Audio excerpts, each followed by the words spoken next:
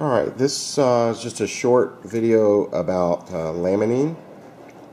And this substance was first discovered in the 1920s. I don't have the guy's name in front of me, but uh, anyway.